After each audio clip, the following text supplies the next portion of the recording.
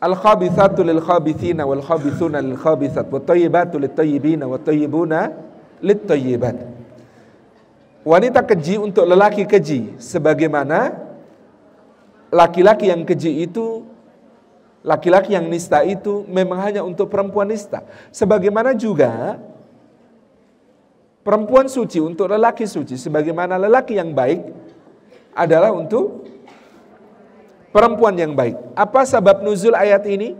Apa sebab turunnya ayat ini? Fitnah keji hadisul ifk kepada ibunda kita Aisyah radhiyallahu anha.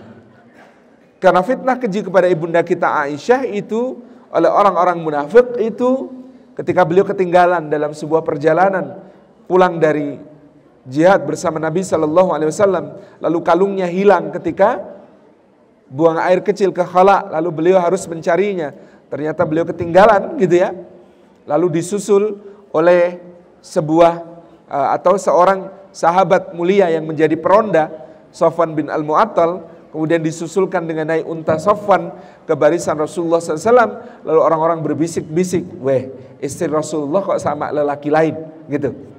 Kemudian menjadi fitnah yang berkobar-kobar maka Allah membela kesucian ibunda kita Aisyah dengan ayat yang beruntun di dalam surah An-Nur ini. Salah satunya adalah surah An-Nur ayat 26. Apa itu pembelaannya? Lelaki yang baik pasti untuk perempuan yang baik. Lelaki keji hanya punya pasangan perempuan keji. Kalau Rasulullah SAW adalah lelaki terbaik, maka pastilah pasangannya, yaitu ibunda kita Aisyah radhiyallahu anha adalah wanita yang suci sebagaimana kualitas suaminya. Jadi ayat ini adalah ayat membela ibunda kita Aisyah.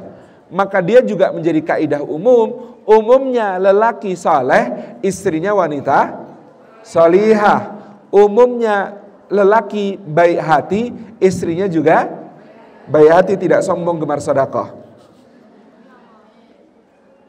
Sebagaimana sebaliknya umumnya lelaki keji ya ketemunya di diskotik dapat pasangannya juga wanita yang tidak baik. Ini ini kaidah umum. Semua kaidah umum ada pengecualiannya.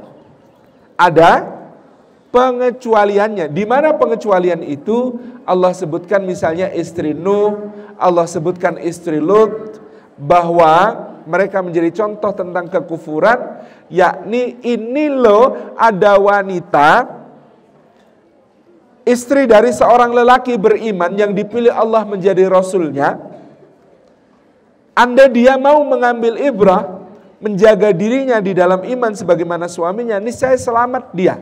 Sisi lain pelajarannya, istri Nabi saja bisa jatuh ke dalam kekufuran, apalagi istri selain Nabi alaihissalam yang kemudian tidak bebas dari ancaman-ancaman bisa jatuh di dalam dosa dan kekufuran kepada Allah.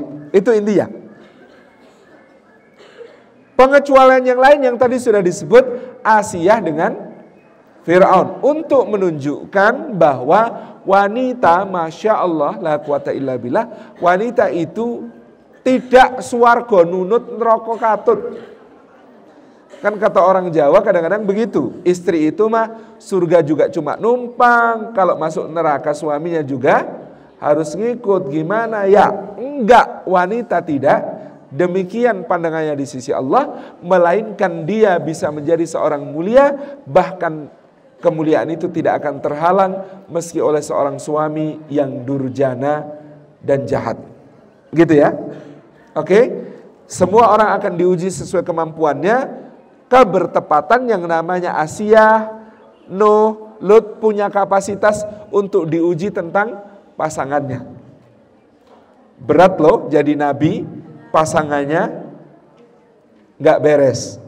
Apa orang nanti akan bilang kamu tuh ngomong aja bagus-bagus. Tuh istri urusin dulu, gitu kan. Itu beratnya menjadi seorang nabi seperti Nuh dan Lut alaihi misalnya.